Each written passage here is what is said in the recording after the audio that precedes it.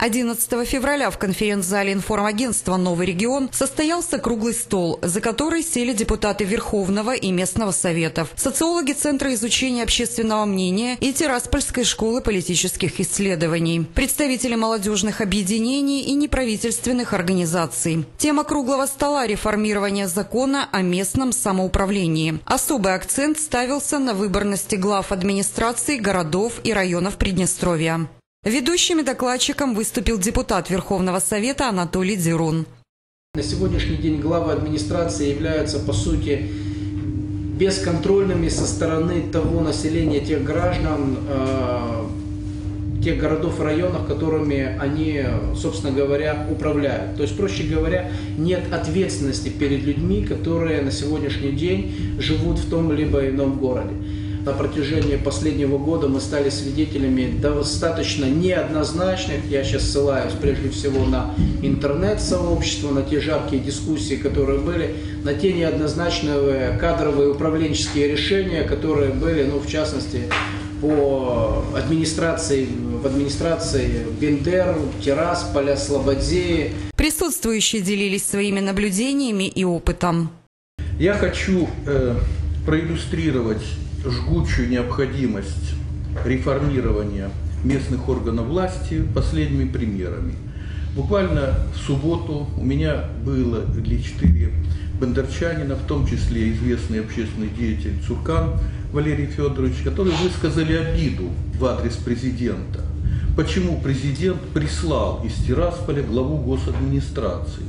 Глава госадминистрации должен быть бондарчанином, изначально с детства знать Бендеры и Бендерчан и любить с детства свой город. Общаясь с коллегами из городского собрания города Сухум, да, э, у них главу администрации э, выбирают из состава депутатского корпуса по представлению президента. То есть есть такая форма. Э, ну, недалеко от нас, 150 километрах, находится столица автономии Гагаузской, город Камрад, где мэр Камрата э, избирается прямым голосованием, то есть города самого. И э, есть результат. Самое главное в этом процессе это повышение э, качества и ответственности за те решения, которые принимает тот или иной функционер, да, глава администрации. Журналистов интересовали готовые проекты документов.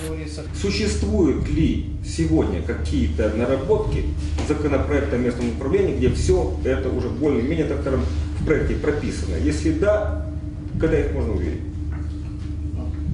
Я существует, себя, да, существует, да, работала комиссия при Верховном Совете.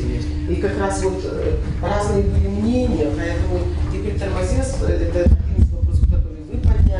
я, например, вот э, вижу это, что, конечно, у него должны быть широкие полномочия, он должен быть хорошим менеджером, он, должен иметь возможность оперативно управлять, не согласовывая со всеми депутатами, у которых там тоже разные мнения. Но он должен быть под контролем. То есть то, что он сделал, за то, что он сделал, он должен ответить. Не вдаваясь в подробности, были озвучены предварительные цифры социологического опроса населения республики, который провел Центр изучения общественного мнения.